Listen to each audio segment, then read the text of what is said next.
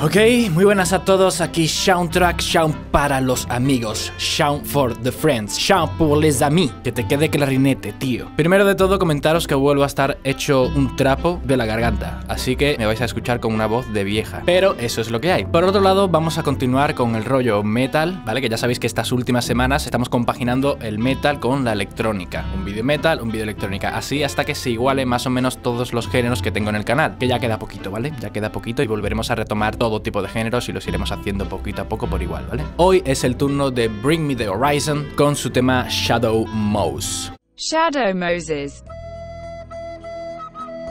Maldición, mi pronunciación es muy mala que para mí, la verdad, es mi favorito de lo que es la carrera de esta banda. Este es un tema muy rollo himno, ¿no? Muy todo muy épico. Y la verdad es que es de rollo leñita de la guapa. Ya sabes que no puedo poner más de unos 8 segundos seguidos de la canción por tema de copyright. De hecho, este vídeo estoy convencido de que, como es de Warner, me lo acabarán tirando en cuestión de días. Pero Mientras tanto, disfrutad de él. Que por cierto, si me quieres apoyar realmente en el canal, suscríbete con los avisos de la campana, porque lo suyo es que veas el vídeo en los dos primeros días que está publicado, porque después me quitan la monetización y ya todo va para la discográfica, en este caso para Warner. O sea, yo ya le he pagado la carrera universitaria a alguno de los hijos de la gente de Warner. Eso seguro, porque me han desmonetizado absolutamente todos los vídeos de Warner. Y el 70% de los análisis que he hecho dan la casualidad de que son grupos de Warner. Así que Así están las cosas, hijos míos e hijas mías. Como segunda opción tienes seguirme en mis redes sociales, que te lo recomiendo, que es mucho mejor porque allí pues subo ejercicios, subo tips y allí pues me ves activo y siempre, porque el tema de la campanita de YouTube te avisa cuando le da la gana. Sin embargo, si me sigues en las redes sociales, siempre que subo un vídeo lo publico allí, o sea que vas a ser el primero en enterarte. Y después de este auto spameo, ya sí vamos a centrarnos en lo que nos interesa. Vamos a darle a este temardo, a ver qué tal va la cosa.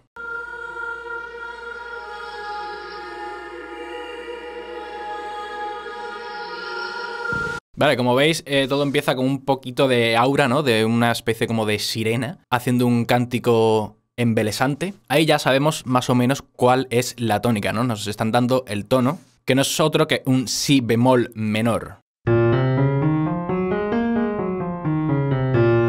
Vamos a seguir escuchando a ver.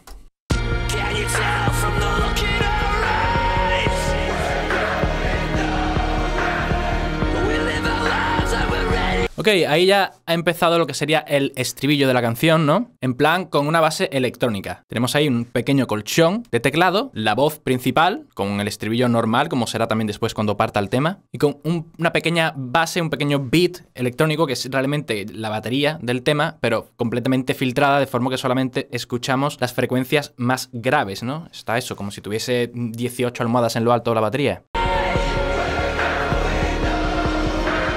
Aquí ya sabemos la armonía del tema, al menos del estribillo, ¿no? Que sería algo así. Un, dos, tres, sí. Can you tell from the look in her eyes We're going nowhere We'll live lives like we're ready to die We're going nowhere Es todo muy menor armónico, ¿no? Tenemos la tónica, que sería el si bemol menor Luego un acorde de paso, que sería el sexto grado, en este caso un sol bemol mayor. Pero eso sería eso, un acorde de paso para llegar al mi bemol menor, que sería el cuarto grado. Ahora sí volvemos de nuevo al sexto, otra vez a ese sol bemol, para volver de nuevo al cuarto. Y ahora sí al quinto, que es el clásico acorde de dominante para resolver en la tónica de nuevo. Claro, esto si lo hiciésemos en piano, en plan así un poquito rollo ambiente clasicote, ¿no? Romántico, quedaría algo como esto.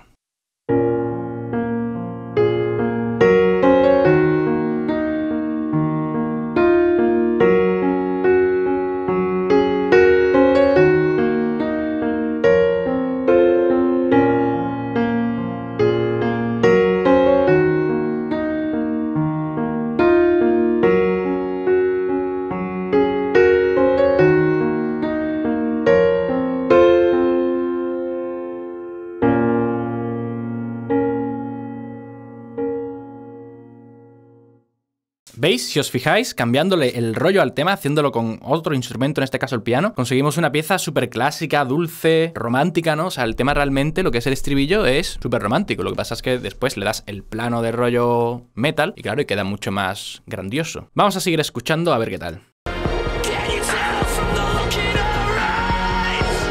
A todo esto, lo que tenemos ahí un montón de cuerdecillas, ¿no? En plan orquesta épica, pero se nota claramente que son sintetizadores.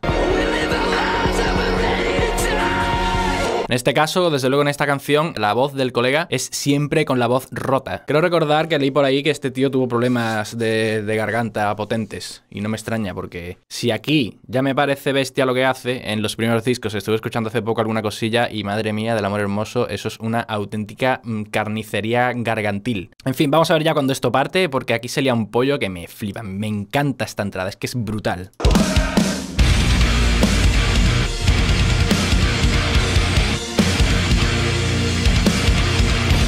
Aquí hay una cosa que me flipa especialmente, el tema por cierto, eso lo tienen afinado en drop B. Y claro, como el tema del copyright no voy a poder poner todo el riff, si os parece, he grabado en plan cutre total, ¿vale? He cogido una batería que he encontrado por ahí en YouTube y he grabado encima la guitarra y el bajo. Pero por lo menos para que podamos ver el riff completo, ¿vale? Os lo voy a poner que lo he grabado y, y ahora hablamos sobre él.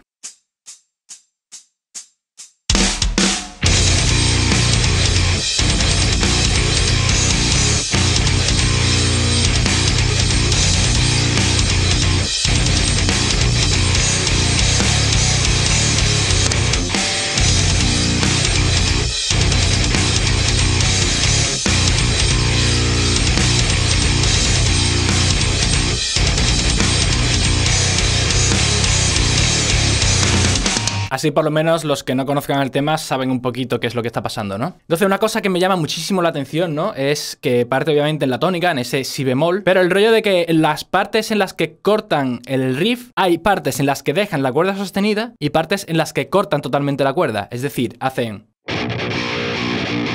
Simplemente ese detalle de... La primera la dejan sostenida es tucu tucu tam y luego tan tacan tacam y cortan todo. Y después pasa igual.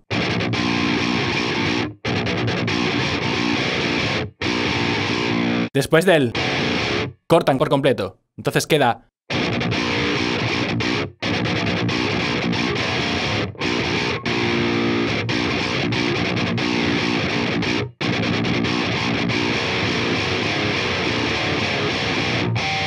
Que ahí lo que hacen es un armónico, ¿no? Y creo que era por aquí por ahí anda. claro, cada uno de esos golpes los hacen todos al unísono, acompañados por el bajo y por el bombo, como no podía ser de otra manera. En plan de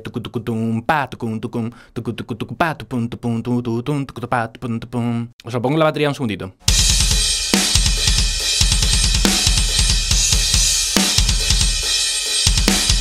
Ese puntillo es el que yo creo que le da el dinamismo al riff, ¿no? He visto algún vídeo de cómo lo hacen en directo y es, madre mía, es un subidón increíble. Todo este riff, por cierto, es instrumental, ¿vale? Hasta que lleguemos directamente a la estrofa, en el que el ritmo de la batería es como más acelerado, ¿no? Y ya entra la voz y se vuelve todo como un aura muy como más eh, macarra, ¿no? Más punky.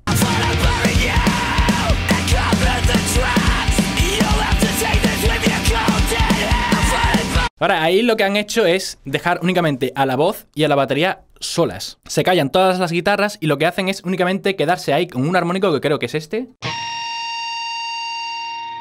ahí acoplándose con el amplificador. Aquí obviamente el acople eh, no hay apenas feedback porque voy por línea. Y claro, y le da un rollo al tema super macarra. No hay armonía ninguna, es todo gritos, batería acelerada y un acople de fondo. Eso durante la primera mitad de la vuelta y a partir de la segunda mitad de la vuelta ya la guitarra sí empieza a hacer un poquito de riff y entra el bajo también, ¿no? Que hace...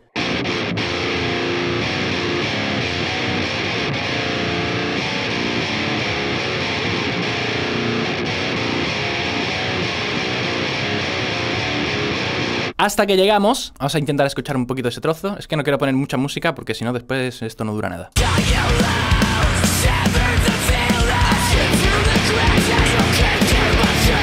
Claro, es eso, es ya todo el mundo haciendo el riff. Y está muy guay también el rollo de cómo empalman esta estrofa con un pequeño interludio también instrumental antes de llegar al estribillo, que es una parte también de rollo breakdown, con un armónico ahí que es tela de jodido de sacar. Escuchadlo. Ese armónico es supuestamente aquí, en el tercer taste de la segunda cuerda. Me voy a quitar eh, la puerta de ruido porque si no, esto aquí no suena nada. Es que sabéis qué pasa, que realmente esta gente no le meten demasiada ganancia al previo de guitarra, entonces que te salga siempre ese armónico es difícil con tan poquita ganancia. Y de hecho, esto es totalmente extraoficial, o sea, quiero decir, no estoy nada seguro de ello, pero me parece que en directo el armónico este va secuenciado, precisamente por ese problema, porque es complicado que siempre salga bien ese armónico, cosa que me parece perfecta, ¿eh? me parece ideal. Lo importante obviamente en un directo es que todo el mundo toque, que sea música real tocada en el momento, pero si algún arreglillo necesitas lanzarlo, pues lánzalo, mientras que sea un poquito, no como pasa en el trap, que es un plan de major disc, lo dio al play y para adelante. Y por cierto, algún día me gustaría hacer un vídeo hablando del el gran problema del trap, que son los directos, o mejor dicho, los no directos. Pero eso es otra historia.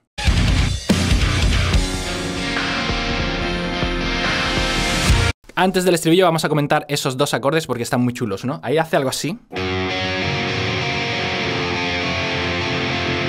Y además callándose toda la banda. Le dan completo protagonismo a ese pequeño arpegio. Que el limpio sería algo así, ¿no?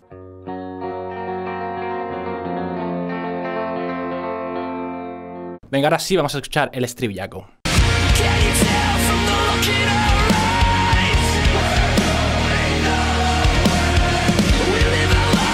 Claro, ahí tendríamos algo así, ¿no?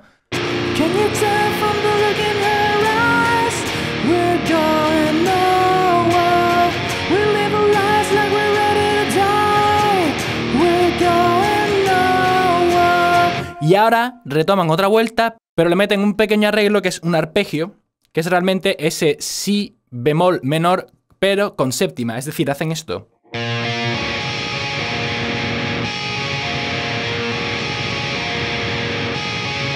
Y le da un rollo brutal, escuchadlo, fijaos bien.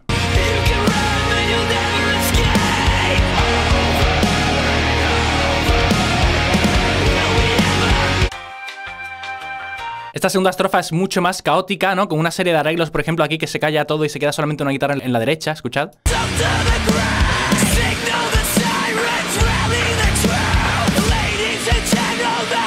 Ese arreglo también me encanta, que se vaya una guitarra y un bajo totalmente fuera y se quede solamente una en un lado, es totalmente desconcertante, está muy chulo. Y ahora ya, pues en realidad lo que tenemos es otro estribillo, porque es que solamente hay el estribillo primero en plan tranqui, el estribillo del medio, que es el más normal, y ahora vendría otra vez el estribillo, pero doble, y ya lo que van haciendo es eh, acelerar un poco el beat, meter cada vez más arreglos, ¿no? Más vocecitas y poco más, el tema es eso lo que tiene. Pero vamos, está del carajo. A mí me parece uno de los temas más redondos que tienen esta gente.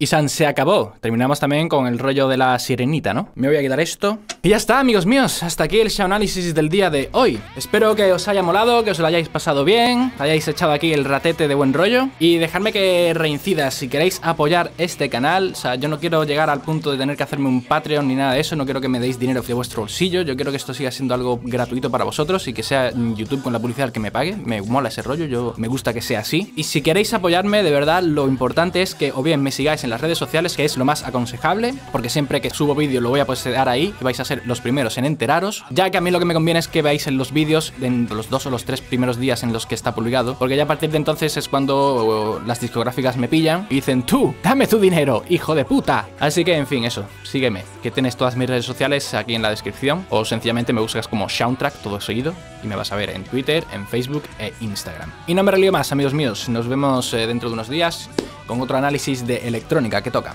No sé cuál será, pero ya veremos. Bye. Down, down, down, down, down, down. They can try but we gotta have the crown. You can go another round Round, round, round, round, round, round We should luck, but you're not bringing us down. We go